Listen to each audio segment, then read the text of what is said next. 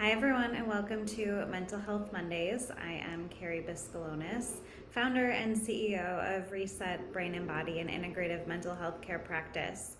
So, I wanted to talk to you today about our somewhat negative coping mechanisms that we can fall into. And this happens all the time, and this happens when we really start to build up our stress, our pressure, our tension when we are operating in a place where we need to relieve the pressure.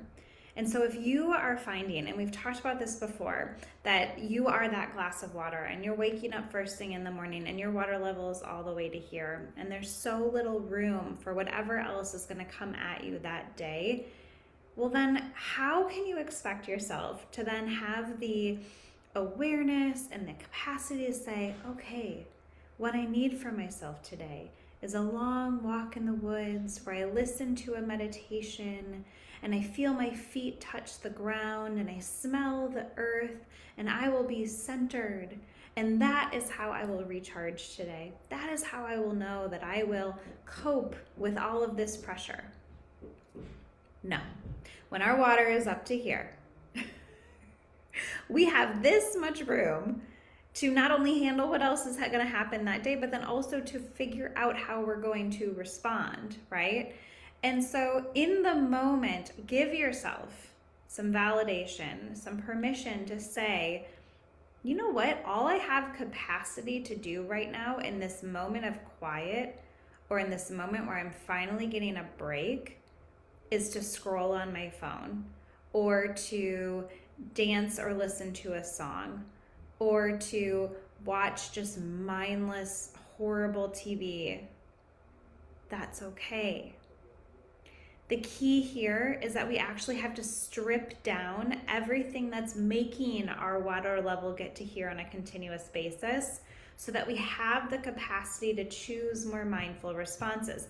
I cannot talk to you about being more mindful if your life is not built for you to even have opportunities to pause, to have the capacity to be more mindful. Does that make sense? So, mindfulness is about building habits, and we have to build habits out of slowing down and doing less. And I know a lot of you are going to say, screw you, right? Like, how dare you? My life is too busy. Stop telling me to do less. Stop telling me to slow down. This is so busy. There's so many things going on. I have people yelling at me all the time. I totally get it. So then, once again, it's how can I consciously set boundaries? How can I consciously check in with my energy? How can I consciously say no or say yes to things that do or do not give me joy so that I have more capacity? So that when I have that opportunity to finally have a break, have some time to myself, I feel empowered and I also feel like I have enough in me to do the things that really bring me joy. Do the things like go on a walk or cook a meal listening to music or read a book for pleasure or do whatever it else. Have a conversation with your spouse or play with your child. Okay, so looking at your lifestyle, looking what's happening in your life, and recognizing where is your energy being taken away, kind of without you having a say in it, but you are doing it by choice, right? Where are you hemorrhaging energy? Because of shoulds or comparison or rushing or more obligations where you can say you know what? Actually i can back off. I can i can i can choose not to engage in that. I can choose to say no to that. So often being mindful is about recognizing when we can lead through our intuition and our strong sense of self instead of acting out of misalignment, instead of acting out of the shoulds and the pressure and the comparison and these parts of us that are overcompensating for shame or guilt or insecurities. When you operate as a more intuitive, authentic self, you might find that you might be just as busy, but the things you're engaging in are actually bringing you joy. The things you're engaging in allow you to be present The activities you're taking kids to feel really authentic because you recognize that they're out of a place of joy for both them and you. And you're not worried about how they're performing. You're not worried about how they're comparing to someone else. And you're not worried about, you know, them getting a best grade on whatever it is. So I'm going to repeat that again. When we operate out of an intuitive, mindful, authentic place, we might find that our life, the activities we're showing up for, allows us to be more present, engaged, and joyful. But when we are operating out of misalignment, making decisions, engaging in behaviors, interacting with people or activities out of shame, guilt, shoulds, comparison, insecurities, we will find that that is when we feel the pressure is too much. And then that is when we will engage in those negative, unhelpful coping mechanisms. That is when we need to escape because we are so already inauthentically misaligned that of course we're going to need to numb because it's just too much. We've already been pushing ourselves so far in one direction that feels so inauthentic, already feels incongruent, that of course we're going to match that with kind of some more shameful, guilt ridden activity. We're going to then beat ourselves up over that because we're like, what am I doing? I know I feel stuck. I know this doesn't feel right, but I can't seem to shake it. We get stuck in this cycle.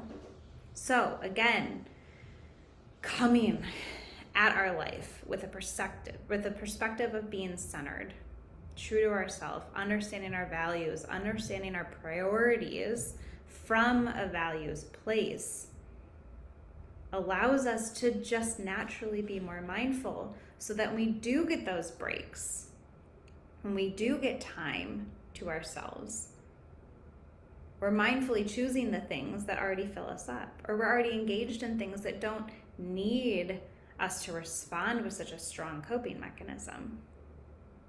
Or are we able to respond more quickly in the present, in that moment? Oh, whoa, whoa, I'm noticing myself reacting. Whew, I can have more awareness in this moment. Okay, I'm recognizing there's a comment. I just want to tune in real quick. Okay, cool. All right, you guys. So, mindfulness tools are simply being able to pay attention to the present moment without judgment. That's an ongoing practice. Whatever you do to allow yourself to do that on a day in, day, day out basis is kind of like picking what shade of color you're going to wear that day, right? there's so many different ways you can approach it, but it, what matters is that you're doing it consistently. You're consistently catching yourself in judgment thoughts. You're consistently catching yourself shooting on yourself, comparing yourself, thinking too far about the future or the past, not staying in that present moment without judgment. So, things like deep breathing, things like um, brain teasers, right? Things like looking at all the colors in the room. There's so many different activities. I'm happy to share more of them with you, but it's about what is it that you can find that allows you to do that day in, day out. But more than that, more importantly than that, is assessing your entire life. Are you in alignment? Are you not? Are you able to even be present and joyful in the life that you've created for yourself? Or are you already so misaligned that there's no way you can be mindful? because it's so incongruent from who you really are or who you want to be. I wish it was simple. But hey, this is mental health care. This is not quick fix coaching tips.